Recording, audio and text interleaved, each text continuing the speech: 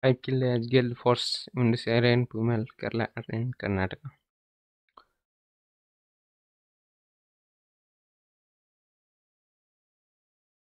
Five killed as gale force winds, rain pummel Kerala, Karnataka AA. Very severe cyclone Taukte expected to cross Gujarat coast this evening. Special correspondent Thiruvananthapuram slash Mangaluru, Pune. Gale force winds, heavy rain and high tidal waves swept the coastal belt of Kerala, Karnataka and Goa as cyclone Taukte hurtled northwards towards Gujarat on Sunday, leaving at least five persons dead damaging hundreds of houses, uprooting electricity poles and trees and forcing large-scale evacuation. According to the India Meteorological Department, IMD, Taukte, which has intensified into a very severe cyclonic storm, is likely to intensify further during the next 24 hours and reach the Gujarat coast on Monday evening.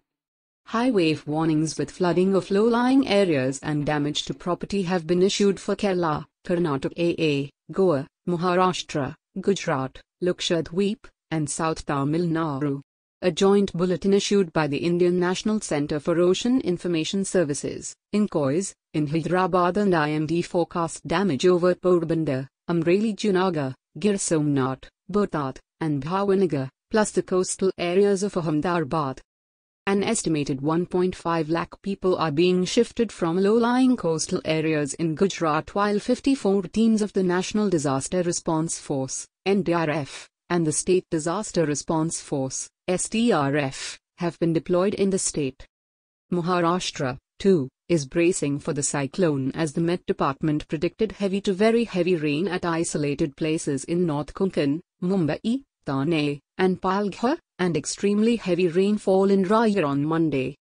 Four deaths were reported from Karnataka, Uttara Kannada, Udupi, Chikkamagaluru and Shivamogga districts.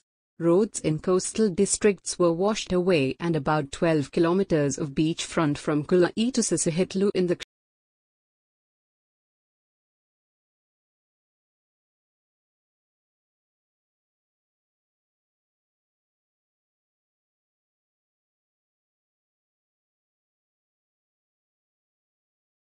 Israel bombs home of Hamas Gaza chief. 42 killed in worst daily death toll yet. Reuters Gaza slash Jerusalem. Israel bombed the home of Hamas chief Yahya al-Sinwar in Gaza early on Sunday and sirens warning of rocket attacks sounded in Israeli border towns shortly after dawn as hostilities stretched into a seventh day with no sign of abating. At least 153 people have been killed in Gaza since Monday, including 42 on Sunday, the highest daily death toll in a single day. Israel has reported 10 dead, including two children. The Security Council met on Sunday to discuss the worst outbreak of Israeli-Palestinian violence in years.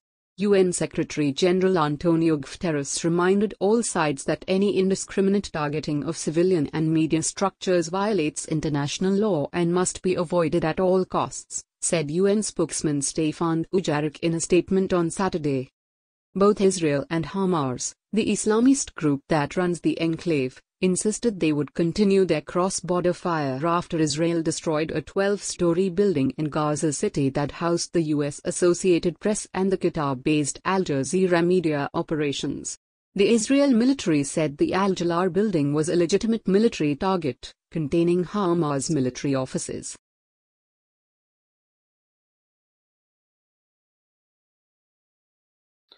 COVID-19 response over next 6 to 8 month critical. Top WHO scientists of or of more uh, waves. So I think this topic is COVID-19 response over next 6 to 18 months critical. Top WHO scientist warns of more waves. From Yakannan Chennai predicting that the COVID-19 pandemic is likely to have subsequent waves as well. Dr. Soumya Swaminathan, chief scientist at the World Health Organization, who has been maintaining a keen eye on the developments in India, says the efforts put in in the next 6 to 18 months will be most critical in battling the pandemic. A lot depends also on the evolution of the virus itself, the ability of vaccines to keep up with variants, and it also depends on the duration of protective immunity of vaccines.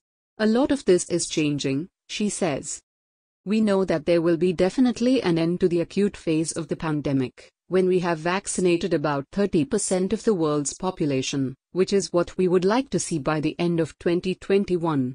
Then we can start seeing a significant reduction in the deaths. Then 2022 can be about ramping up vaccination. Making clarifications on treatment protocols, Dr. Soumya said it was important for the people to understand that the wrong drug given at the wrong time could actually have more bad effects than good. Many of the drugs commonly being used now have not been shown to have any effect. Nations can customize the WHO protocols for their local contexts, she advises.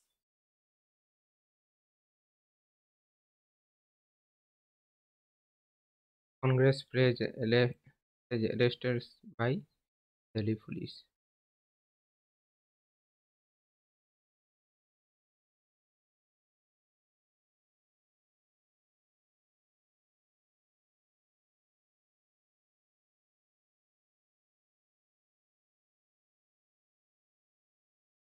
Six feet from your doorstep.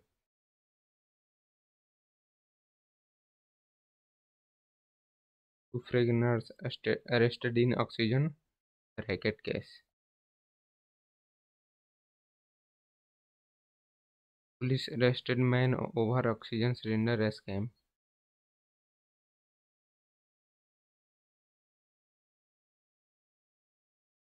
Man stabbed to death by couple over rupees hundred.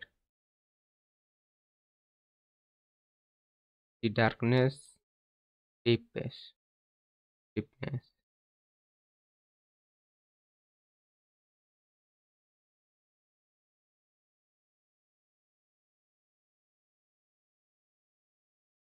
lockdown extended till May 24 announced CM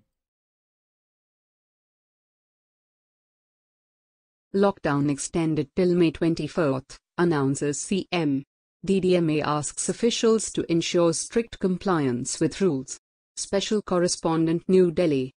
The Delhi government on Sunday extended the ongoing lockdown that was in place till May 17 by another week till 5 am on May 24. Chief Minister Arvind Kejriwal said the lockdown that was first imposed on April 19 has brought about a reduction in the number of cases and a dip in the positivity rate as well. Positivity rate the number of COVID cases is decreasing in Delhi and recovery has increased, but we do not want to lose this gain. Therefore, lockdown is extended. In the past 24 hours, Delhi has reported around 6,500 cases and the positivity rate has come down to 10% from 11%. Mr. Kejriwal said. Hoping that in the next week, there will be greater recovery, he said, as far as I can understand, Delhi is slowly coming back on track. The lockdown is to continue as it is, no concessions will be given. Last week, the government had announced the closure of the Delhi metro as a part of a more stringent lockdown. The Delhi Disaster Management Authority, DDMA, in its order, told officials to ensure strict compliance with the lockdown rules and take action against those found to be violating the rules. The situation of COVID-19 in NCT of Delhi has again been reviewed and observed that positive cases, as well as positivity rate, is still high and the bed occupancy, oxygen-supported slash ICU beds, in the dedicated COVID-19 government and private hospitals slash nursing homes is also on the higher side. Curfew needs to be extended for another week in the territory on NCT of Delhi except for essential activities slash services. For overall well-being and safety of the people of NCT Delhi, the DDMA order read. It is less than uh, 10,000 cases for third consecutive day. Police harassing volunteers for putting posters questioning PM.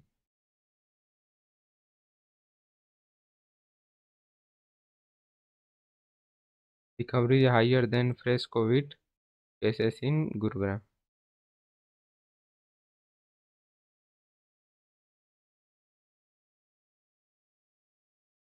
Government deploys staff to answer distress call.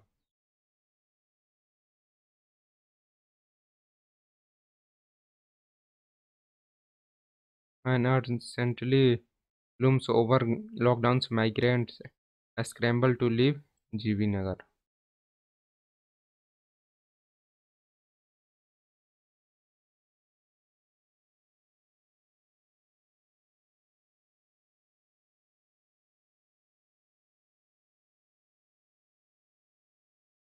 Vaccine drive grids to halt in Kashmir due to acute shortage.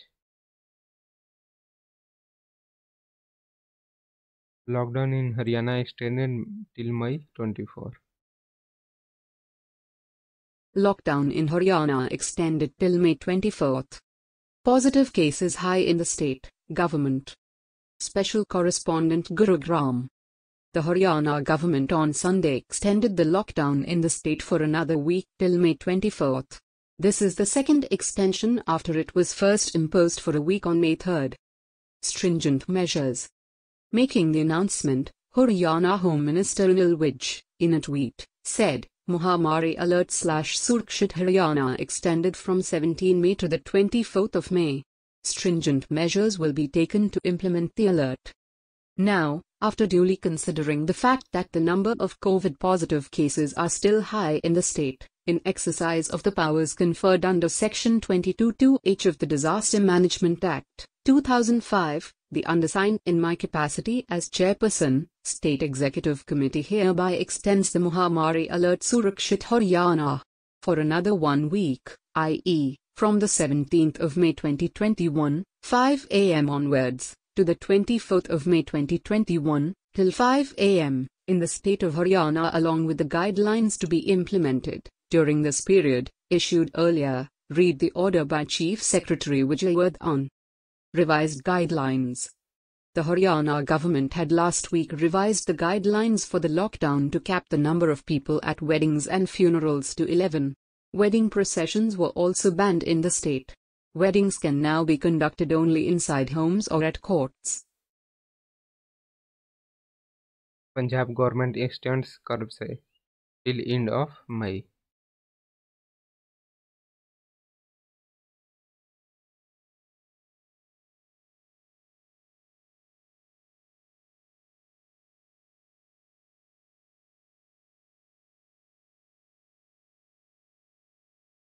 Punjab government extends curbs till end of May. CM reviews COVID-19 situation in state. Press Trust of India, Chandigarh. Amid high positivity and fatality rates, the Punjab government on Sunday extended all existing COVID-19 restrictions till May 31st. The state government has imposed extensive curbs, in addition to measures like weekend lockdown and night curfew to check the spread of the infection. The announcement regarding the extension of curbs was made by Chief Minister Amarinder Singh, who gave directions for strict enforcement of all restrictions, asking the deputy commissioners to continue determine opening of shops in a staggered manner. They can also make suitable amendments based on local conditions as long as these do not dilute the state's overall restrictions, said Captain Amarinder in an official statement here. Reviewing the state's COVID-19 situation at a meeting, he said while the restrictions so far has shown results, with some decline in daily infection numbers, there is a need to extend the curbs due to high positivity rate of 13.1% as of May 15 and case fatality rate, CFR, standing at 2.4%. Strict implementation the Chief Minister said the district authorities will continue to ensure strict implementation of all directives of the Union Home Ministry or the state government on COVID appropriate behavior, including social distancing norms, regulating crowds in marketplaces and public transport. Bride losses battle with virus.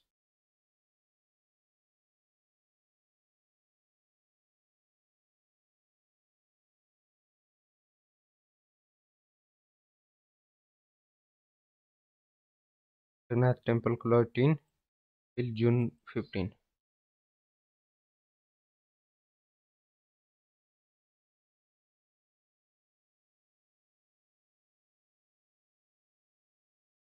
Jagannath temple closed till June 15.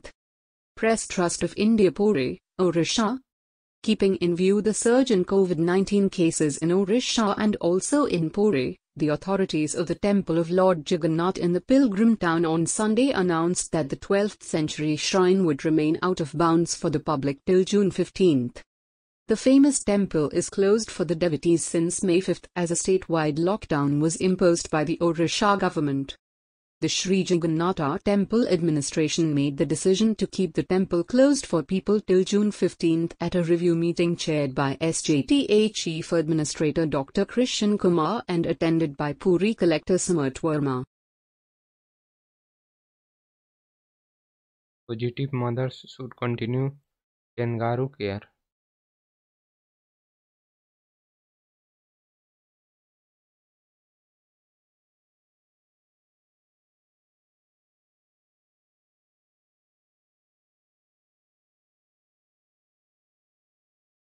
Kerala village bids adieu to Soumya. Three state did 25 positivity.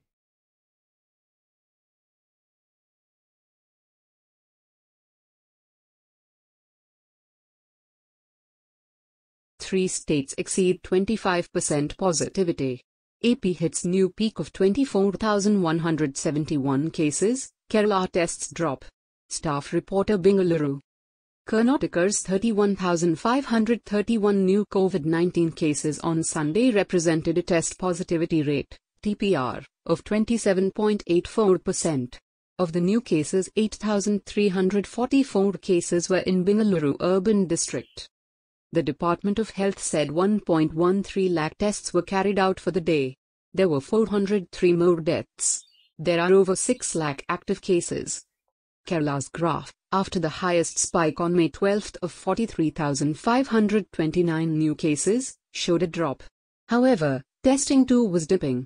On Sunday, the state reported 29,704 new cases from 1,15,982 samples. The TPR showed a slight reduction at 25.61%. The state added 89 recent deaths to the official list. Active cases, on a steady rise till Saturday, showed a reduction, dropping from 4,45,334 to 4,40,652. However, there was no let up in hospital admissions, and 3,640 more persons were admitted, while total hospitalized cases stood at 37,117. ICU admissions were rising. A total of 3,686 patients were in ICUs, and 64 were newly admitted. Ernakulam continued to have the maximum active cases at 68,352, while Tiruvananthapuram had 45,093. Andhra Pradesh hit a fresh peak with 24,171 new cases on Sunday and added 101 deaths. Active cases rose to 2,10,436. The daily TPR had been rising even after the 18-hour curfew from May 5. The 94,550 samples tested in a day returned a TPR of 25.56%. In spite of a lower number of tests in Telangana, 3,816 new cases and 27 deaths were reported on Sunday. Daily screening was lower by nearly 20,000 tests. The number of active cases in Tamil Nadu rose to 2,19,342 with another 33,181 persons testing positive on Sunday. A total of 311 persons died taking the toll to 17,670. With inputs from Tiruvananthapuram, Vijayawada, Hyderabad and Chennai bureaus. YSR Congress MP moves AC for bail in Henderson case.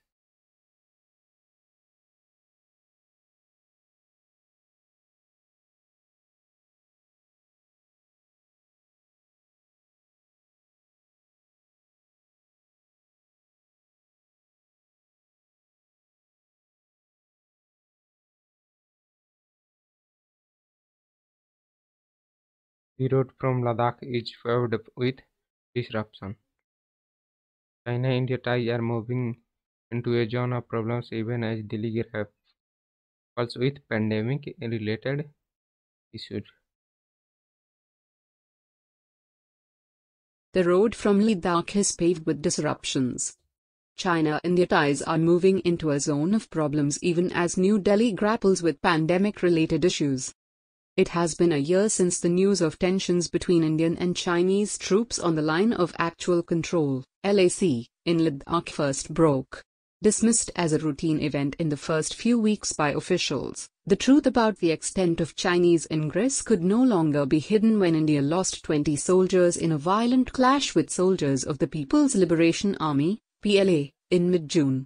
As has been evident from commercial satellite imagery, sparse official statements and a few interviews, the crisis eventually involved seven places, Depsang Plains, Galwan, Gogra, Hot Springs, North Bank of Pangong Tso, Kailash Range and Demchok.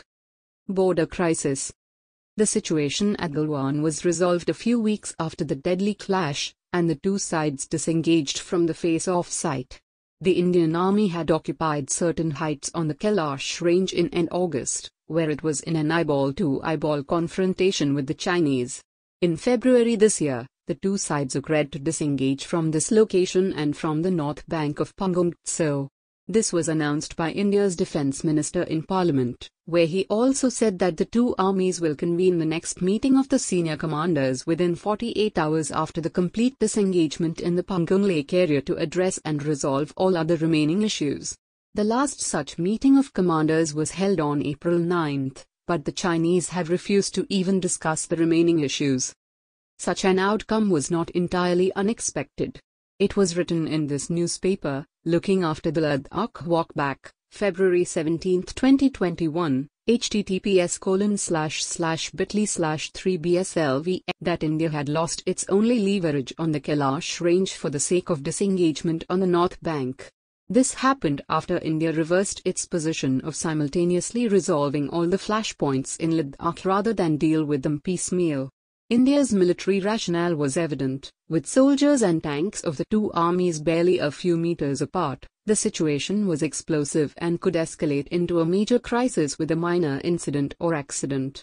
It was also clear that by restricting itself to its own side of the lake on the Kailash range, India had not taken control of the more dominating peaks like the Blacktop and had a weak hand to play with. Politically, the Narendra Modi government seemed keen to announce a closure of the border crisis by creating the impression of an honorable solution against a major power. Three months later, no such closure is in sight. With the PLA troops denying India access to territories it controlled by patrolling, the government's avowed aim of restoring the status quo ante as of April 2020 remains unfulfilled. Even on the north bank of Pangong, a new status quo has been created where the patrolling rights are yet to be restored. Similarly, the Kailash range has seen neither the escalation nor the induction so far. In each statement, both India and China reiterate the need to ensure peace and tranquility in border areas. Even if there have been no further deaths after June and no firing after early September, the peace on the border is both unstable and unsustainable. Ongoing tensions, with massive deployments on each side, belie any hope of tranquility. That the security establishment in New Delhi is cognizant of the volatility and risk can be gauged from the fact that the Indian Army has undertaken a major reorientation of its units and formations towards the China border. COVID 19 and geopolitics. Even as the situation on the border poses a tricky challenge for India, its geopolitical concerns have been exacerbated by the devastation caused by the mismanagement of COVID 19. Through its vaccine Maitri program, New Delhi was presenting itself as a better alternative to Beijing's vaccine diplomacy, particularly in South Asia. Shaken by scenes of massive suffering and public criticism, the Modi government has backtracked on existing contractual commitments to supply vaccines to its friendly neighbors. Countries such as Bangladesh and Sri Lanka have started procuring vaccines from China, further casting doubts on India's reliability as a partner and raising questions about its ability to act as a counter to China. Sensing the opportunity, Beijing also moved in quickly, organizing a meeting with all South Asian countries except India, ostensibly to deal with the pandemic. New Delhi was also the linchpin of the Quad's pledge to deliver a billion doses of COVID 19 vaccine throughout the Indo Pacific by the end of 2022, an effort focused on countering Chinese influence in the region. With India now trying to import vaccines for its own population and reneging on its commitments to other poor countries under Gavi's COVAX scheme, the proposal now seems to be on a weak footing. The abysmal failure of the Modi government to anticipate and deal with a public health crisis has diminished India's or as an emergent power. A Prime Minister tom-tomming the mantra of Atmanirbharata or self-reliance has been forced to reverse a 16-year-old policy to accept global aid has laid bare India's vulnerabilities, further reducing its standing as the Quad's anchor. A weaker India is not only less attractive as a partner globally, it makes New Delhi more dependent on the United States to deal with China. That India has been acting at the behest of the US has been one of China's presumptions and this would only confirm Beijing's worst fears. It would further strain India-China ties, directly linking them to the vagaries of the China-US relationship. The hypothesis that India can safeguard its land borders by strengthening its oceanic prowess could then be put to test, a scenario New Delhi wants to avoid at all costs. Meanwhile, the threat of a two-front collusive threat after the Ladakh crisis forced the Modi government to seek peace with Pakistan. The back-channel talks, facilitated by the United Arab Emirates, led to the announcement of the ceasefire on the line of control which has held so far. But there have been contradictory voices emerging from Islamabad and the process seems to be floundering, as Pakistan awaits the steps on Kashmir promised by the Modi government. No political environment has been created in India for any such step so far. New Delhi's preoccupation with the pandemic may brook a delay of few weeks but fears of failure, a routine happening in India-Pakistan engagements, loom large. It is hard to predict the Pakistani course of action hence, but if the past is an experience to go by, it has usually been spiteful, reckless and dangerous, especially when India is seen as weak coupled with the imminent American military withdrawal from Afghanistan and a win for the Taliban, the signs are ominous. An assertive China and a vengeful Pakistan acting in concert on the land borders is India's military nightmare, which New Delhi will have to avoid at all costs. Chinese supplies. Meanwhile, Beijing has made certain significant moves towards New Delhi in the recent days. China's President Xi Jinping sent a message to Mr. Modi to convey sympathy and express condolences over the pandemic, which was the first communication between the two since the border crisis began last year. The Chinese foreign minister spoke to his Indian counterpart twice and offered help to deal with the pandemic, which led to an early clearance and approval of cargo flights from China. The Chinese ambassador to India has been highlighting the supplies and the material being sent to India. Beijing's efforts have been largely confined to private companies and donations from the Red Cross and Red Crescent societies, unlike other countries which have pledged government help to India. Curiously, much of the Chinese media ambiguously frames it as Chinese aid, while India explicitly avoids that framing and lays stress on the point that these are largely commercial contracts between private companies. Even if the Chinese intent is to project itself on a par with other global powers providing relief and aid to India, the fact remains that India is heavily dependent on China for crucial medical supplies. State-owned Sichuan Airlines had suspended cargo flights to India for 15 days beginning last month, but the supply chains have since been kept open by Beijing. This is in tune with the Indian demand from Beijing that the supply chain should remain open but the other demand to ensure stable product prices has not been met. More point scoring.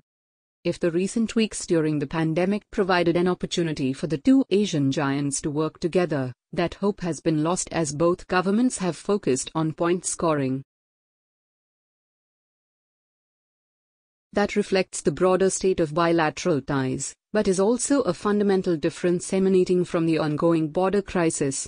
As the talks between India and China have floundered, New Delhi has taken a position that the border issue is central to the bilateral relationship. This runs contrary to Beijing's argument that the boundary question cannot be seen as the whole of the bilateral relationship. In an ideal world, New Delhi can hope for a settlement that delineates and demarcates the LAC in some form but Beijing has ruled out any such proposal. With soldiers of both armies facing each other in Ladakh and a lack of trust between the two countries as the two governments talk past each other in a period of geopolitical churn, it is clear that the China-India bilateral relationship is moving into a zone of increasing disruptions and attendant risks of conflagration on the disputed border. Sushant Singh is a senior fellow with the Center for Policy Research, New Delhi.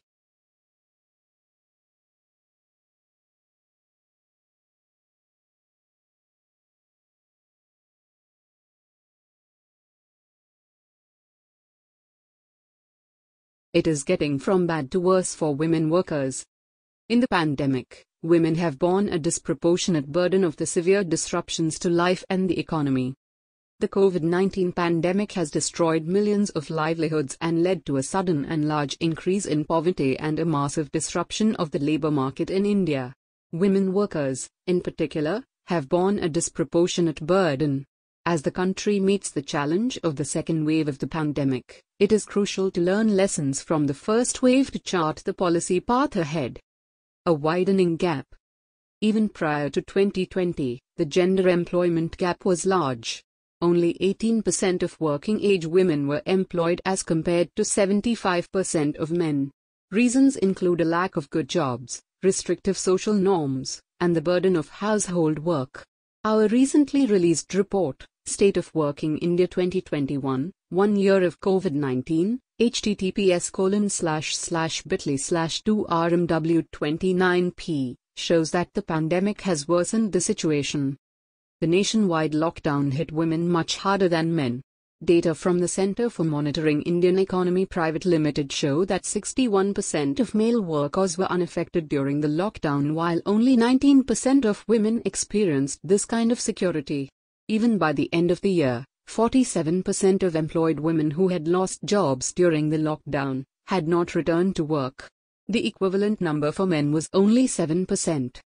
Men who did lose work were able to regain it, even if it was at the cost of increased precarity or lower earnings, because they had the option of moving into fallback employment arrangements. Thus, 33% of formal salaried men moved into self-employment and 9% into daily wage work between late 2019 and late 2020. In contrast, women had far fewer options, only 4% and 3% of formal salaried women moved into self-employment and daily wage work, respectively. Nearly half of the women workers, irrespective of whether they were salaried, casual, or self-employed, withdrew from the workforce as compared to only 11% of men. Even as new entrants to the workforce, women workers had poorer options compared to men. Women were more likely to enter as daily wage workers while men found avenues for self-employment. Daily wage work is typically far less remunerative than self-employment as on average, between September to October 2020, a daily wage worker earned about 7,965 rupees compared to a self-employed worker who earned nearly twice that at 12,955 rupees.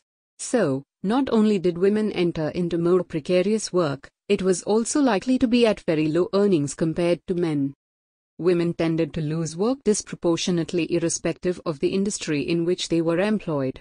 For instance, the share of women in job losses in education was three times their share in that industry.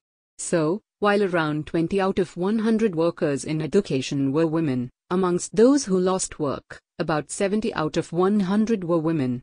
Similarly, in the health sector, 40 out of 100 workers were women, while of the 100 in this sector who lost work, 80 were women. Growing domestic work.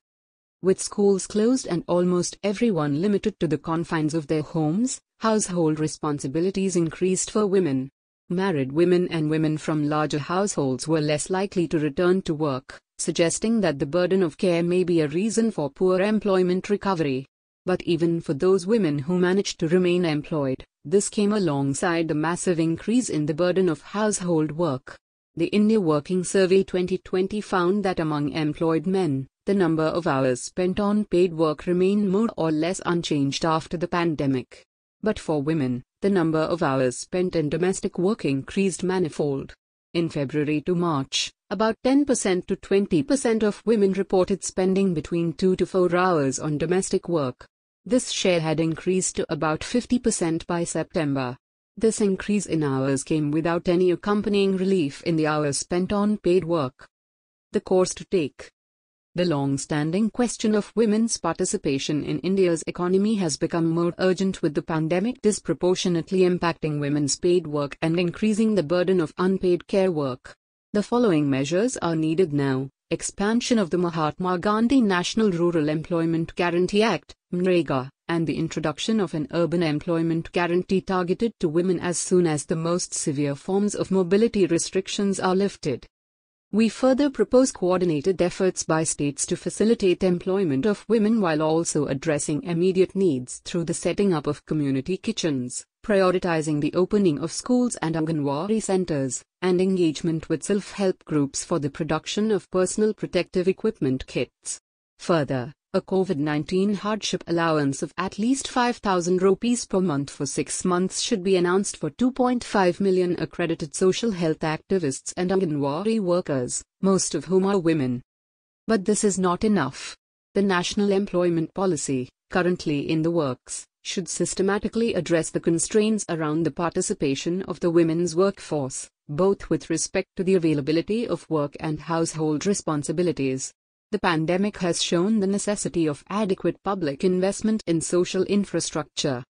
The time is right to imagine a bold universal basic services program that not only fills existing vacancies in the social sector but also expands public investments in health, education, child and elderly care, and so on, to be prepared for future shocks.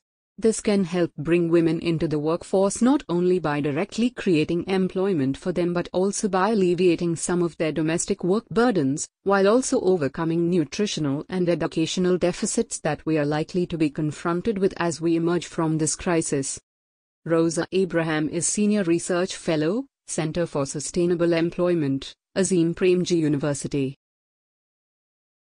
Amit Basole is Associate Professor of Economics, Azim Premji University.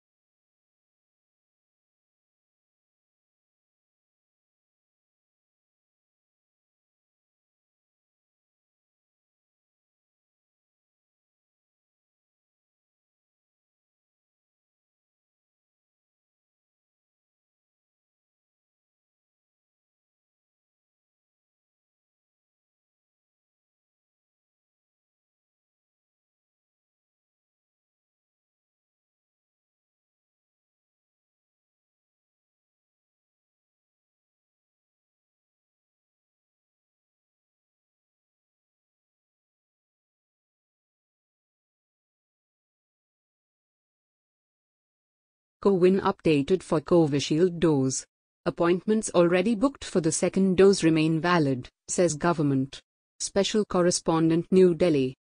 The Co-win digital portal has been reconfigured to reflect the change in the dose interval for the Covishield vaccine. The center had on May 13 extended the gap between the first and second doses of the vaccine to 12 to 16 weeks.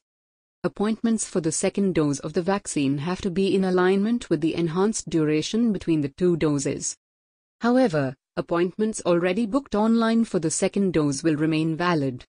The COVID working group chaired by Dr. N.K. Arora had recommended extension of the gap between the first and second doses of Covishield vaccine to 12 to 16 weeks. This has been accepted by the Government of India on May 13, said a Union Health Ministry release, adding that this had been communicated to the states and the Union territories. The ministry clarified that the requisite changes had now been carried out in the CoWIN portal. As a result, further online or on-site appointments will not be possible if the period after the first dose date for a beneficiary is less than 84 days, the ministry said. Further, the beneficiaries are advised to reschedule their appointments for a later date beyond the 84th day from the date of first dose vaccination, said the release.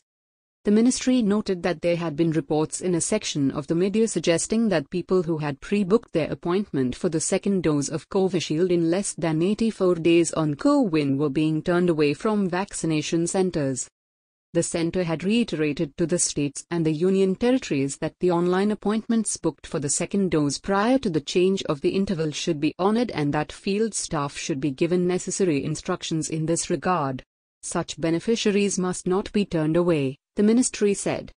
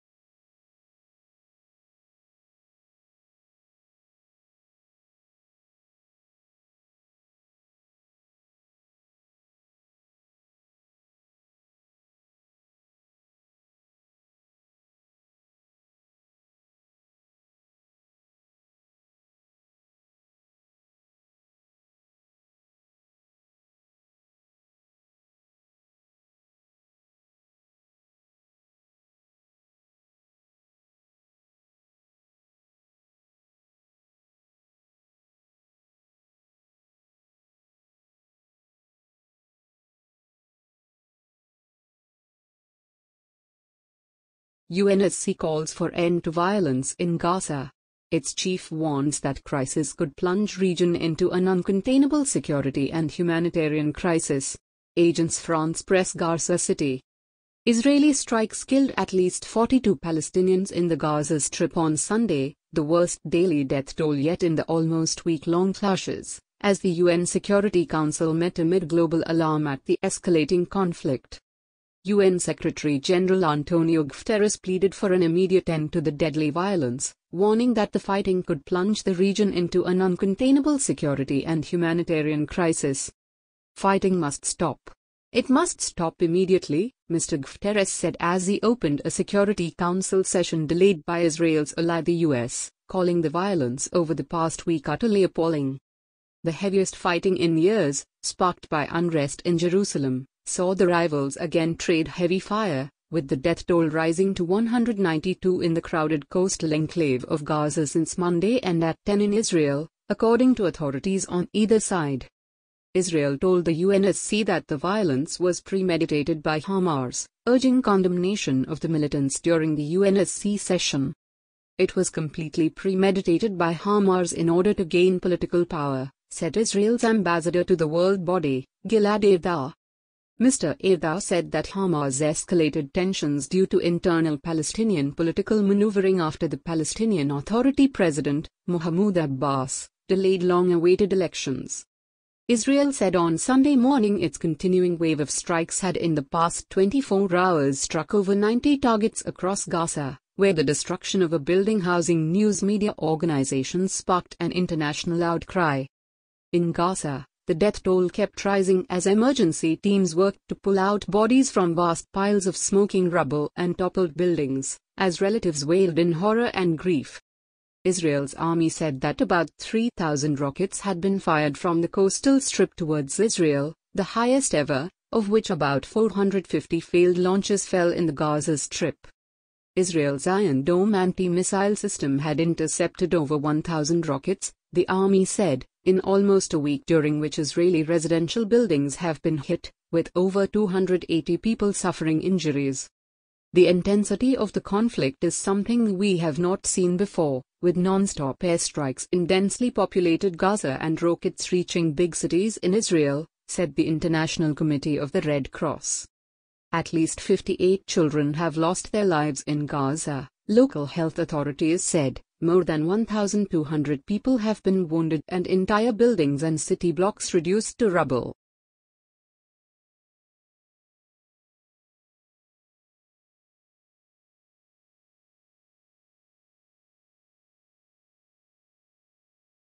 Friends आज का हम लोग paper पढ़ने का। आज हम समाप्त करते हैं। बाकी सब मैं ये डिस्क्रिप्शन बॉक्स में ग्रुप का लिंक दे दूँगा जिसमें आपको ये पेपर मिल जाएगा और वहाँ से आप लोग पढ़ लीजिएगा। Damn.